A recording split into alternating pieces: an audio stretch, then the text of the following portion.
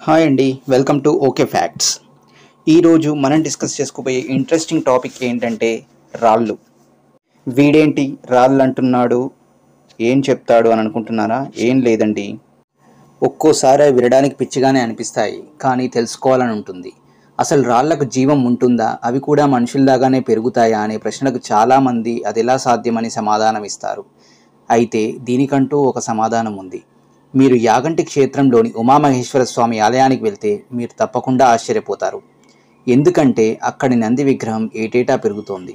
అంతేకాదు ఈ నందితో యుగాంతం కూడా ముడిపడి ఉందని పురాణాలు చెబుతూ ఉంటాయి.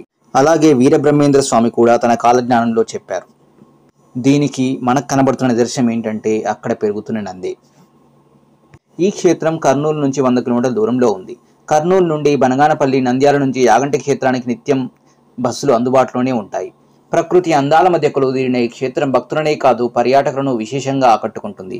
అయితే నిజంగానే ఈ ఆలయంలో ఉన్న నంది విగ్రహం ఎలా పెరుగుతుంది అనే విషయం వెనుక చాలా కథలే ఉన్నాయి. మరి దీని వెనుక ఉన్న మిస్టరీ ఏంటి? ఆ విషయాలను తెలుసుకునే ముందు తప్పకుండా ఫస్ట్ ఈ ఆలయ చరిత్ర ఏంటో తెలుసుకోవాల్సింది. ఈ యాగంటి ఆలయం చాలా ప్రత్యేకమైనది. కొన్ని వందల సంవత్సరాల కిందట దక్షిణ భారత యాత్రలో భాగంగా దక్షిణాది వైపు ప్రయాణమైన అగస్త్యుడు బనగానపల్లికి పది కిలోమీటర్ల దూరంలో నల్లమల కొండల మధ్య వెంకటేశ్వర స్వామి ఆలయాన్ని వైష్ణవ పద్ధతిలో నిర్మించారు. ఆలయంలో ప్రతిష్ఠించేందుకు తయారు చేస్తున్న వెంకటేశ్వర స్వామి విగ్రహాన్ని చెక్కుతున్న సమయంలో దాని బొటనవేలు విరిగింది. అవయవలోపం ఉన్న విగ్రహాన్ని ప్రతిష్ఠిస్తే కీడు తప్పదని భావించిన అగస్త్యుడు తాను చేసిన తప్పును తెలుసుకునేందుకు ఘోర తపస్సు చేస్తాడు. దీంతో శివుడు ప్రత్యక్షమై విగ్రహానికి నష్టం కలిగిందని చింతించవద్దని ఈ ప్రాంతం తన కైలాసాన్ని పోలి ఉన్న నేపథ్యంలో ధానే కొలువు తీరుతానని చెప్పి ఉమామహేశ్వర స్వామిగా వెలుస్తాడు. ఎక్కడైతే వెంకటేశ్వర స్వామిని ఓ గుహలో పెట్టాడో ఆ గుహ పక్కనే మరో గుహ ఉంటుంది దాని శివగుహ అని అంటారు. బ్రహ్మంగారు తన శిష్యులకు జ్ఞానబోధ చేసినట్లు చెబుతారు అక్కడ. ఐదవ శతాబ్దం నుంచి ఈ ఇక్కడ చోళుడు పల్లవులు చాణుక్యులు ఈ గుడిలో నిత్యం పూజలు నిర్వహించేవారు. అలాగే పదిహేనవ శతాబ్దంలో విజయనగర సామ్రాజ్యానికి చెందిన సంగమ రాజ్య వంశస్థులైన హరిహర బుక్కరాయలు చిత్రస్థితిలో ఉన్న గుడిని పునః నిర్మించారు. మరి ఇక్కడ నంది విగ్రహం నిజంగానే పెరుగుతుందా అంటే దానికి ఎన్నో సందేహాలున్నాయి ఎన్నో కథలు అందుబాటులో ఉన్నాయి. నాలుగు వందల ఏళ్ళ కిందట ఈ నంది విగ్రహం చాలా చిన్నగా ఉండేదని భక్తులు దాని చుట్టూ ప్రదక్షిణలు కూడా చేసేవారని చెబుతుంటారు. మరి ఇప్పుడు నంది విగ్రహం సైజు పెరగడం వల్ల ప్రదక్షిణలు సాధ్యం కావడం లేదని అంటారు. అయితే నందిగా చిన్నగా ఉన్నప్పుడు చిత్రాలు కానీ వీడియోలు కానీ లేకపోవడం వల్ల చాలామంది అసాధ్యమని కొట్టిపాడేశారు. కానీ ఆ నంది సైజు పెరగడం నిజమే. ఇక్కడ పురావస్తు శాఖ వారు జరిపిన ఒక పరిశోధనలో కొన్ని ఆసక్తికర విషయాలు తెలిసాయి. ఇరవై సంవత్సరాల వ్యవధిలో ఈ నంది విగ్రహం కేవలం ఒక్క అంగుళం మాత్రమే పెరుగుతోంది. అంటే ఏడాదికి కేవలం ఒక్క మిల్లీమీటర్ చొప్పున నంది పెరుగుతుంది. నంది పెరుగుతోందా లేదా అని తెలుసుకోవడానికి ఆలయంలో ఉన్న విగ్రహం చుట్టూ ఉన్న స్తంభాలను చూస్తే అర్థమవుతుంది. వాళ్ళు కనుక్కున్న శాస్త్రీయ కారణం గురించి తెలుసుకోవాలి అంటే ముందుగా యూరోప్లోని రోమేనియాలో ఎదిగే రాళ్ళ గురించి తప్పకుండా తెలుసుకోవాల్సిందే. ఈ రాళ్ళు కూడా నంది విగ్రహం కంటే వేగంగా పెరుగుతాయి. అంతేకాదు అవి పిల్లల్ని కూడా పెడతాయి. ఇది వినడానికి చిత్రంగా ఉంది కదూ? అయితే అది ఎలా సాధ్యమో చూడండి. వీటిని జీవించే రాళ్ళు అంటారు. రోమేనియాలోని ఈ రాళ్ళు ఏకంగా జీవిస్తాయని చెప్పవచ్చు. ఈ రాళ్ళ చుట్టూ చిన్న వలయాలుగా మరికొన్ని రాళ్ళు పెరుగుతుంటాయి. వాటినే ఆ రాళ్ళకు పుట్టిన పిల్లలు అంటారు.